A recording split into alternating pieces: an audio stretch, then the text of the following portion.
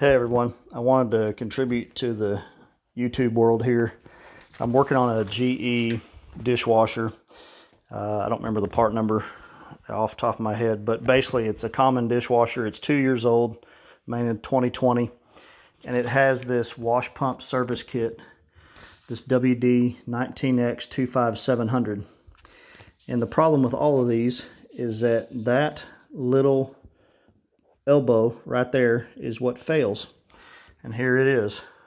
It was leaking all over our floor into our basement ceiling because this little boot has a failure. It's common and you cannot buy this from GE. You can't buy it because it's part of this pump assembly, this entire pump assembly right here as depicted in that diagram.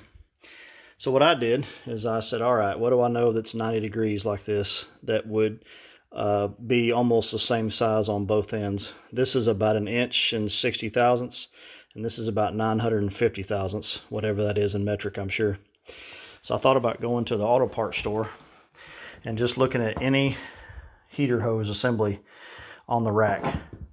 This one happens to be a Gates 24565 and it has this funky fitting on the end. I don't even care all I was looking for is it had a 90 degree piece on here and that 90 degree piece looked exactly like this because it had a flared end to go over a hose just like this.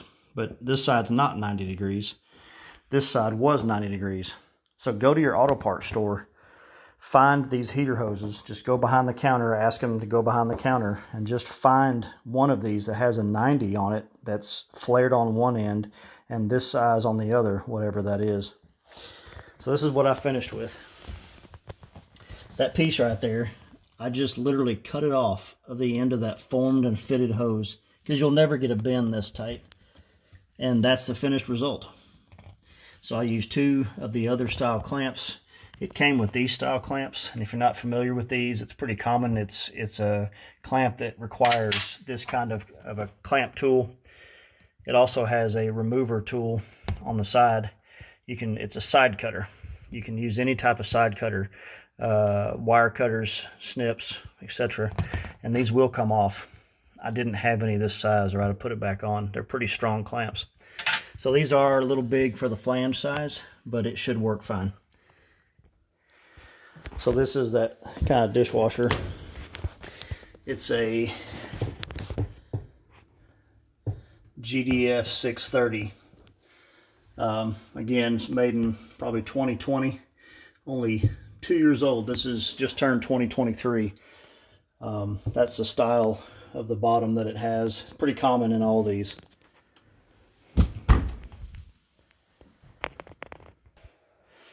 Alright, so I'm going to start this thing and see if it's leaking still. hard to tell back there, but this was pouring water out the bottom. I'm going to see here in just a minute when it turns on. I can't pull it out any further because that water line is attached, hard lined. But I'm pretty sure we're going to be good. I'm going to try to sneak this back there to see.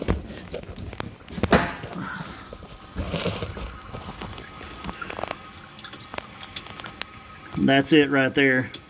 As soon as it cycles on, we'll see if it works. It should be fine. Hopefully this helps you guys out because there's no point in buying that entire motor assembly right there for a $100. That hose was about $24 and you can find a cheaper one uh, if it had the right ends on it and wasn't the hard molded end.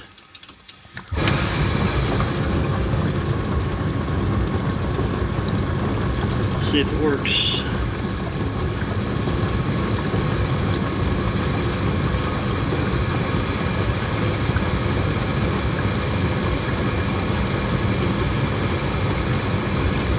All right. so, pretty sure that works. Again, good luck guys. Hope this helps you out in this video. Thanks.